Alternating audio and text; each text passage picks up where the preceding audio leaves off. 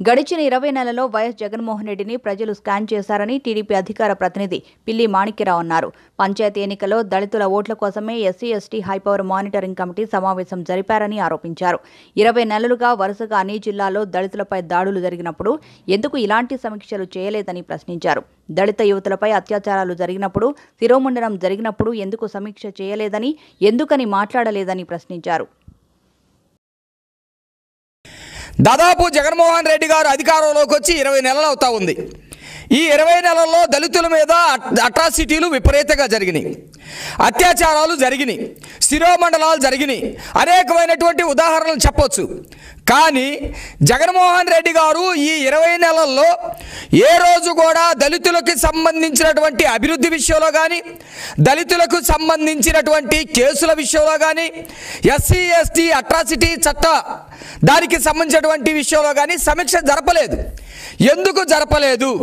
అంటే దళితులకు సంబంధించినటువంటి ఏ విషయంలో కూడా ఆయనకి ప్రేమ లేదు కాబట్టి దళితుల పట్ల జరుగుతున్నటువంటి హత్యలు అత్యాచారాల విషయంలో సమీక్షించి ఒక దిశానిర్దేశం చేద్దామనే ఉద్దేశం అతనికి లేదు కాబట్టి దళితుల మీద జరుగుతున్నటువంటి హత్యలు అత్యాచారాలన్నిటికీ కారణం వైసీపీకి సంబంధించినటువంటి అగ్రవర్ణాలే కాబట్టి ఆయన ఏ రోజు కూడా సమీక్ష చేయదలుచుకోలేదు. మరి ఈ రోజు ఎందుకు చేస్తున్నాడు?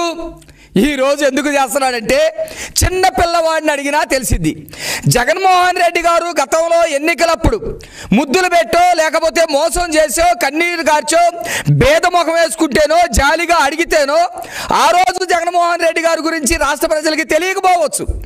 ఎందుకంటే కొత్తగా వస్తున్నాడు పాపం తండ్రి లేని పిల్లవాడు పాపం జాలిగా ఉన్నాడు పాపం లేకపోతే ఏదైనా దయ ఓట్లేద్దామని చెప్పేసి అనుకొని ఉండొచ్చు.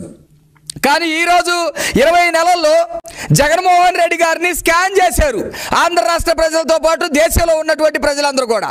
ఈరోజు జగన్మోహన్ రెడ్డి గారు ఎస్సీ ఎస్టీ అట్రాసిటీ చట్టం మీద సమీక్ష పెట్టాడంటే రాష్ట్రంలో ఉన్నటువంటి దళితులందరూ కూడా ఖచ్చితంగా అర్థం చేసుకొని నవ్వుకుంటా ఉన్నారు. జగన్మోహన్ రెడ్డి గారు ఈ టైంలో ఎస్సీ ఎస్టీ అట్రాసిటీ చట్టం గురించి సమీక్ష చేయటం ఏంటి అని అంటే ఏమీ లేదు ఒక పెద్ద బూటకం ఒక చేతబడి చేయాలనే మాంత్రికుడిలాగా వచ్చాడు. చేతబడి చేసి దళితుల ఓట్లు మొత్తం కూడా దండుకొని ఈ పంచాయతీ ఎన్నికల్లో ఎట్టోగొట్ట గట్టెక్కాలనే ఉద్దేశంతో వచ్చాడని ప్రతి ఒక్కరికి అర్థమవుతా ఉంది. కాదా?